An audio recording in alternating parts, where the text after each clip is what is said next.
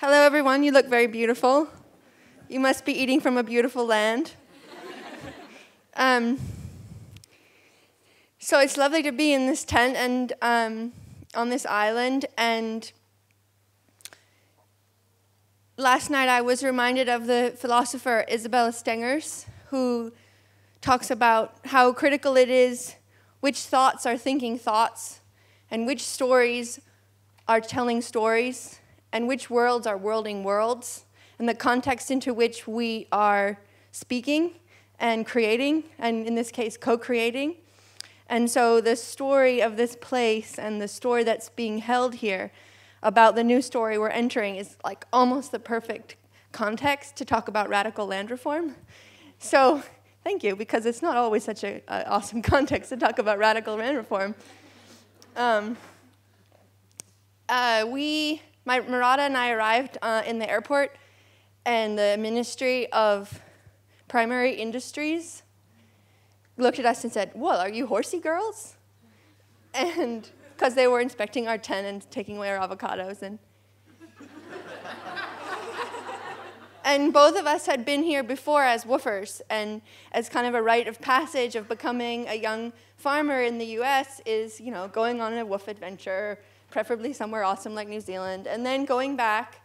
Um, and in her case, she worked for Eliot Coleman in, uh, in, the, in the lineage in Maine. In my case, I worked uh, on an Alan Chadwick lineage in California.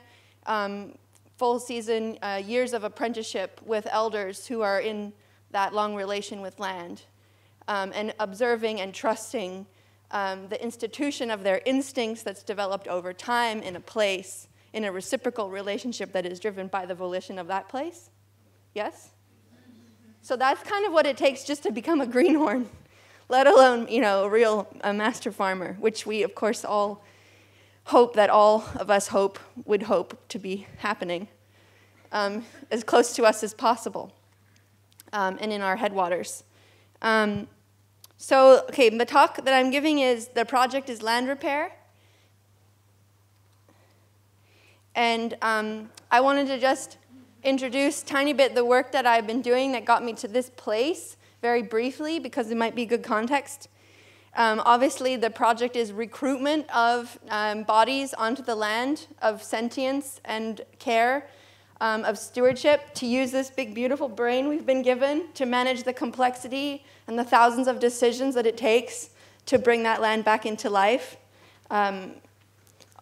So, the work, the method, the way that we've been doing that, or that I've been in the last 10 years organizing, is like very many different infrastructure creation, I would say, would be a way to say it cultural infrastructure, political infrastructure, technological infrastructure, and now coming to um, territorial infrastructure.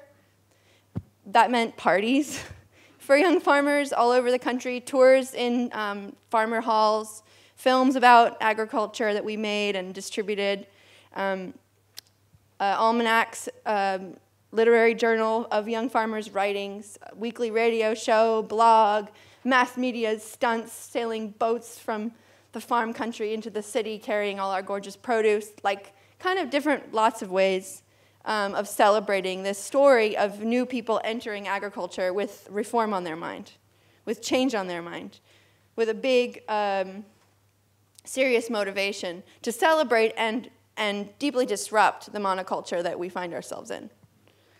Um, yeah, one of the things we disrupted the other year was there was a, not this year, it was last 2016, the, the conference was called the Hunger Games. It was a, it's put on by the Conventional Young Farmers Organization. And then it was called the Hunger Games, and then it was called Volunteer to be a Tribute. Needless to say, we were there. We got given some money by the organic milk people to pay for our booth, and we went through all our materials because, you know, then the Hunger Games, the revolutionaries win.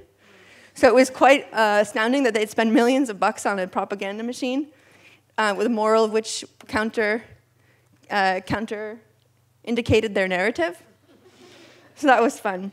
So as all of this, um, and through all of this, um, you know, I've been almost like a naturalist of the young farmer universe. And um, accompanying the, the bravery and the free range chicken of the kind of person who decides to buck all trends, listen to no one, and follow a deep premonition of what is the right, valuable thing to do with your life, which happens to be, you know, bend over in the sun for a long time with humility, working hard and earning very little money, um, which is very different from um, decisions that might lead you to the top of our economic food chain in this current market economy. So it's a different character, uh, and it's a character I've really enjoyed studying, and it's a character I thought I might transmit to you all because that character um, that lives in that context is the character we're going to be in alliance with. It's the character we're going to be in a truce with. Um, and especially since some people here I know are coming from a more meta tech pattern of open source entrepreneur hero character, also a different character, you know, in the pantheon of characters that exist. And I think one of the big cultural projects is how do those characters meet?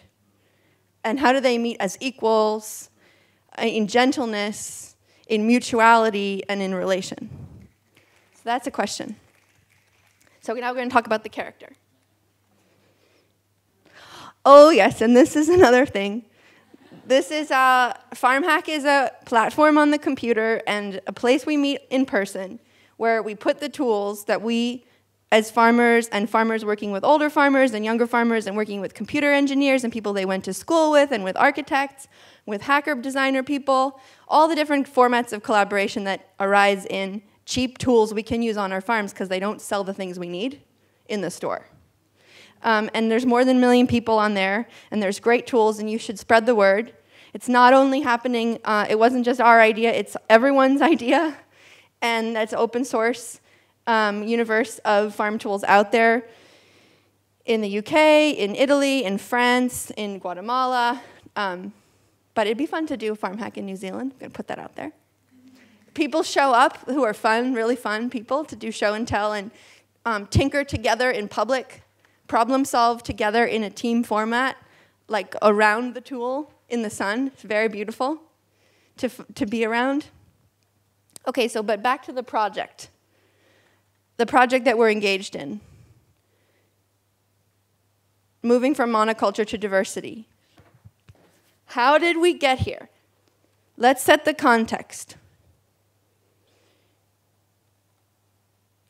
We can think about the future but we can also think about the future historically. And I think we need to know a little bit the history in order to think historically about the future. So in the US, 70% um, of farm work is done by people who do not have citizen status.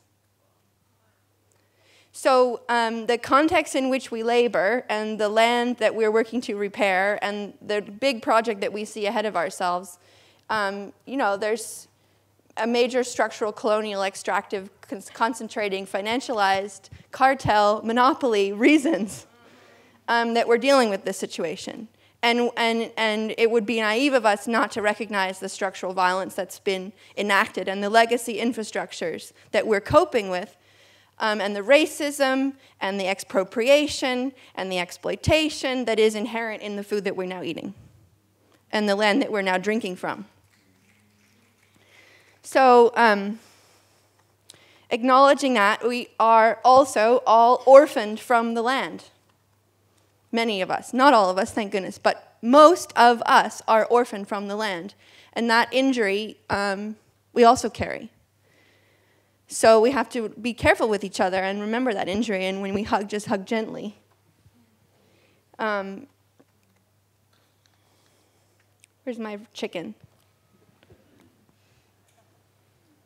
So yeah, I mean, I, I had a whole other talk prepared about arts and artists coming into radical agriculture, and I'll give you that talk later if you want.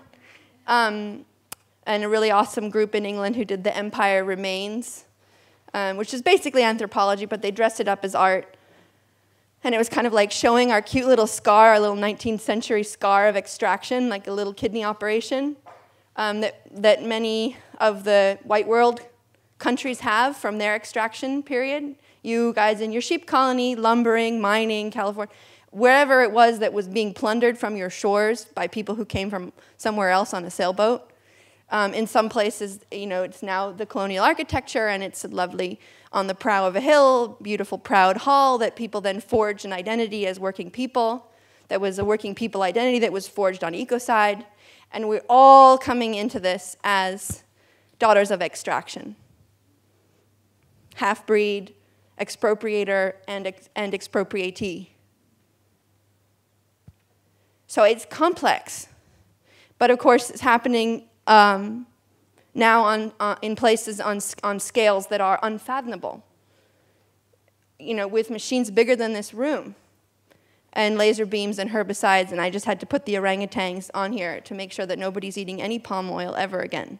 Thank you very much. And if you don't know about it, go expose your brain to the pictures of that rainforest that's been leveled in the last 10 years. In my lifetime, rainforest, 50 million acres of rainforest in, Brasilia, in the Brazilian rainforest has been leveled for soybeans, just in my life. So anyway, the, our sweet little, our sweet little version of, of, of plunder is um, bigger other places. So here we are now in this, here you have gorse. Here we are as daughters of extraction. mothers of invention. This happens to be um, breast tissue um, with cancer, which is a whole other amazing group of people. If we could get the Black Lives Matter, Occupy, women, gay, cancer moms, I mean, if you get all those people together, that's a lot of people. If they were all eating properly from the land, their power would be unparalleled. So we get some more blobs here together. Um, and so, anyway, back to the gorse. The gorse that's the invade, invader, the invasive species here, happens to be a scar tissue, just like that breast tissue. Scar tissue of an invasive economy, of an invasive species that happens to fix nitrogen and be really prickly and keep people out. And you can spray it, and they did. And, but apparently, if you don't spray it, then the native plants start poking through. And the understory which is tender and eats by possums apparently also, um, has its own uh, has its own next phase. And so that's as you're looking at the landscape and you need a reminder about the tender understory, you can look at the prickly overstory to remind yourself. Okay, well, we just to review, we're talking about the old boys with their subsidies and their market distortions. We're talking about global trade. We're talking about climate flux and inflexibility. We're talking about the militarization of agronomy. We're talking about massive concentration of power in the seed and agronomy sectors. What else are we talking about? Those are the core dilemmas of fear that we face. And I'm happy to do like 101 what is the theory of change on sustainable agriculture taking over the planet with any of you as a 101 one on one later. Um, and what are the tactics? Um, what are the tactics of the understory? How are we ap approaching um, the revivification of these landscapes?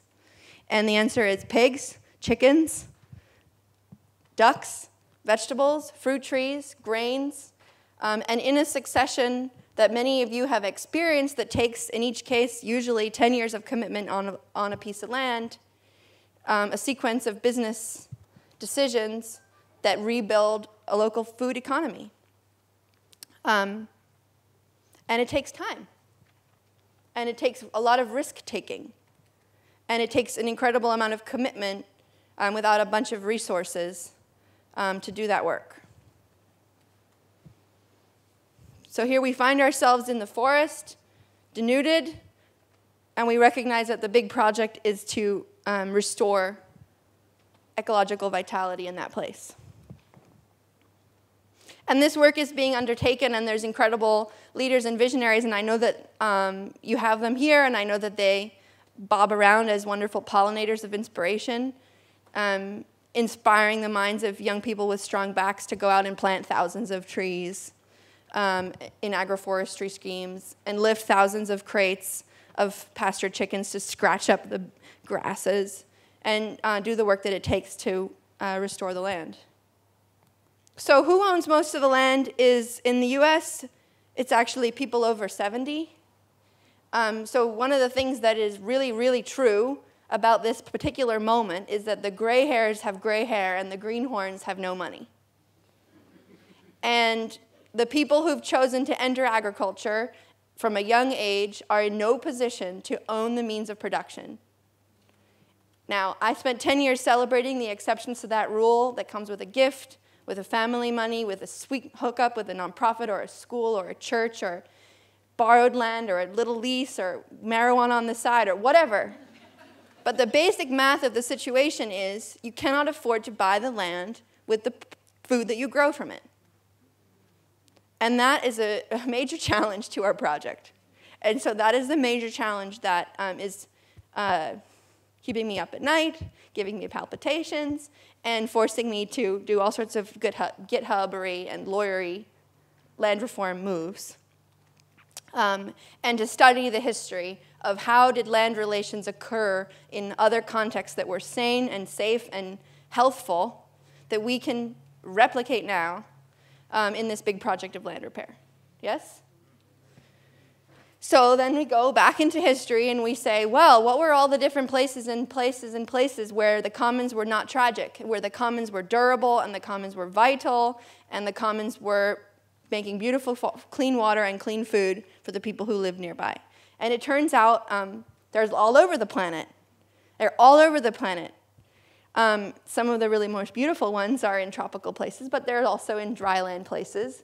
Um, I just organized a seminar in the southwest about the acequia system, which is a commons irrigation ditch that is a whole big long story, but you could watch 12 hours of video that we put online on Agrarian Trust about the acequia system. Um, another one is in Hawaii, the ahupua'a system. Um, and this, this study of these models uh, of indigenous guardianship, council based, representative, holistic, you could even say holocratic representation of the interests of the land on behalf of the whole community that occur so frequently in history and across geographies have been actually studied systematically by an economist. Her name is Elinor Ostrom. She's the only lady economist to ever win the Nobel Prize. And she's very amazing. Um, and she discerned from that study the kind of system dynamics of land relation the governance structures that um, are required for correct stewardship, the constraints on appetite for logging and mining and extraction, expropriation, and growing sod to export to the Saudi Arabians for their golf courses that is characteristic of our current agricultural economy. So um, those characteristics you can read about in a book called Governing the Commons. And that was what is informing, that's what story I'm thinking with um, in the group process that we've been thinking for Agrarian Trust. Some of the other thinkers I have here is Leo Tolstoy, a great theorist um, in, the serf, in a serfdom of Russia, talking about liberation of the land and common ownership of the land. Henry George, looking at land tax and trying to stop speculative um, and financialized valuation of land, wanted land not as a commodity. The Southern Tenant Farmers, these are the sharecroppers union. Um, this is Slater King, cousin of Martin Luther King, who went on a trip to the kibbutz uh, in Israel looking for context to figure out how to hold land in common for the benefit of shareholders, sharecroppers. Oh, you know, there's it. Interesting slip. I had a conversation with a guy who was a tech guy, and he said, Oh, I've got a new app. It's so great. It connects the young farmers with the land. It's like sharecropping 2.0. And I just stepped three steps back. And I said, Oh, I got to maybe engage with this question. Um, and then uh, Vinoba Bhave, who, um, after the liberation of India, as a disciple of Gandhi, said we cannot have an independent nation as a post colonial India, which was you know, sending cotton, uh, sending cotton back to the empire and in every way a colony, although a magisterial colony, said we need to have economic sovereignty and we need to have villages owning their land and producing for themselves. And that village economy uh, structure he made possible by walking around India, mostly barefoot, followed by followers, in a Socratic dialogue with landowners and um, they donated four and a half million acres of land. Gift to the commons, to village management. Vinoba Bhave. Anyway, all these references are you can read on my website, and I hope you'll join us in this interesting journey of learning about these things. So we embarked on this interesting journey of bringing this knowledge together and fusing it all and managing the complexity of it through our use of the GitHub, which took me a while. Um, and we worked with wonderful lawyers in Oakland using the community land trust model, and with no time left, we quickly summarize building a new land trust, a new community land trust based on these principles. This has already happened in France um, in a similar lineage of thinking. Terre de Liens has now 112 farms that are owned in common, that are leased on a life basis to farmers who grow for the local community, where thousands of investors, an average of $5,000 each, are cooperative members of a council whose decisions are managing the right relations on that land. So that's the vision that we hold, and that's the work we'd like to do.